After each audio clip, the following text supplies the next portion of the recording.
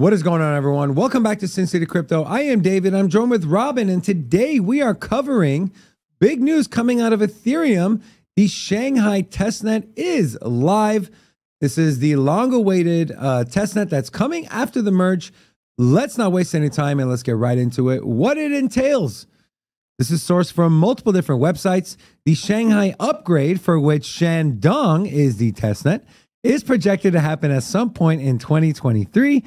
Now, there are three main Ethereum improvement proposals that will come out of this Shandong testnet. Uh, the first of which is EIP 4895. This will allow for staked ether to be withdrawn along with any earned rewards that have been locked in the beacon chain for uh, since people started staking. Next is EIP 4844, which introduces proto dank sharding, which we'll cover here in a couple minutes, and EIP 3540, which will allow for code and data to be separated in the Ethereum virtual machine. Now, before we talk about proto dank sharding, what are your thoughts on Shandong finally going live on the mainnet? Uh, perhaps it's my uh, extremely uh, immature thought process here, but uh, Knew it was this going uh, Shakdong is uh, Shandong. Sh- Shakdong, Shangdong. Shandong.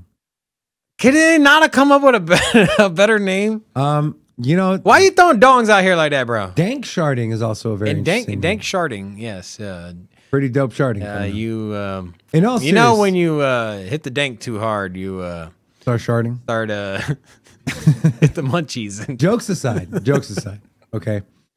This uh, is projected at some point in 2023, but the testnet is available for the devs to be able to work on. Um, out of these, okay, before I ask you any other questions, let's talk about what proto dank sharding is and what it means. Now, there's six key elements, right? But I'm only going to highlight three of them. The first one is roll up future.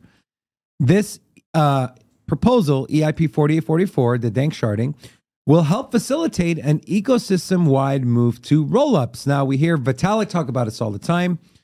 ZK rollups, zero knowledge. This is where the future is for transactions on Ethereum. Also, low fees now. The full data sharding will take a considerable amount of time to finish implementing. So, in the meantime, EIP 4844 can bring rollup fees down by orders of magnitude and also enable Ethereum to remain competitive without sacrificing sacrificing decentralization and also it's forwards compatible. Now, Robin, out of these three EIPs, uh, which one uh, do you think will have the most effect, whether that be negative or positive, you know, in, in the Ethereum ecosystem? it is the rollups that is going to make Ethereum what we were hoping it was going to be in the merge. This is huge. I mean, just think about it. Uh, no longer do you have to go competitive uh, when it comes to your transaction price because we know that users were leaving Ethereum and transacting on layer twos. But if the roll-ups come out as we expect them to, where transaction fees come down significantly in say the sub one dollar range, uh, you know what is the need to transact on a layer two when you can do it on layer one?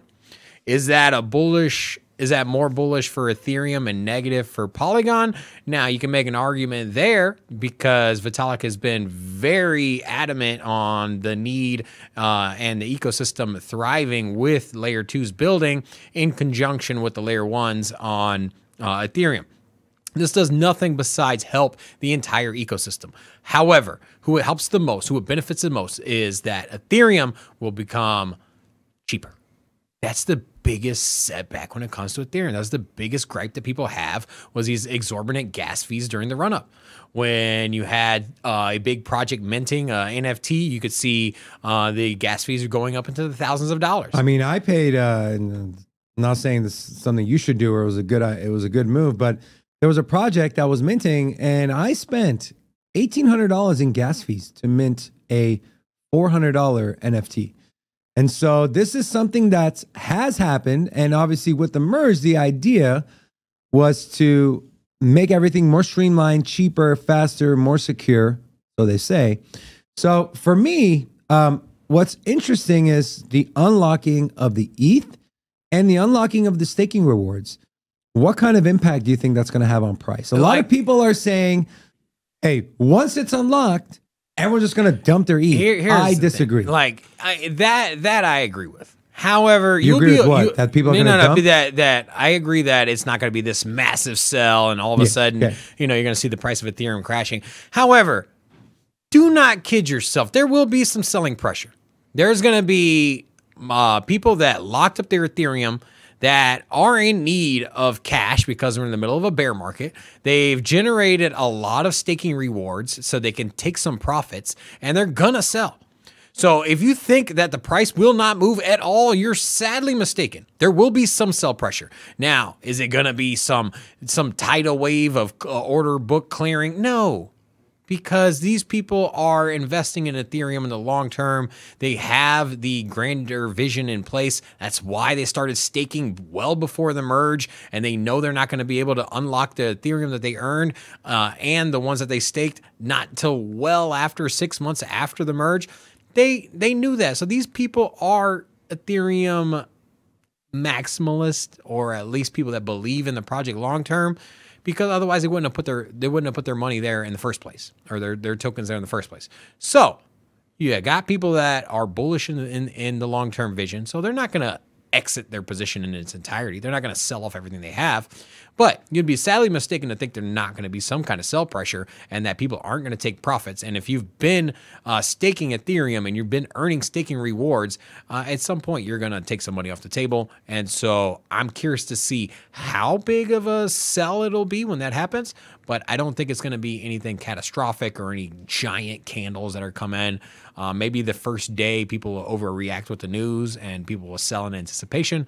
Uh, but anything after uh, 48 hour volatility, I think will balance itself out pretty quickly. It'll be interesting to see the timing because uh, we're, we're looking at about anywhere between four to eight months until this ether will be unlocked from the beacon chain. And if we project forward, just take the uh, middle there. Let's just take uh, six months. Six months from now, you're looking at what, April, right? Yeah. April.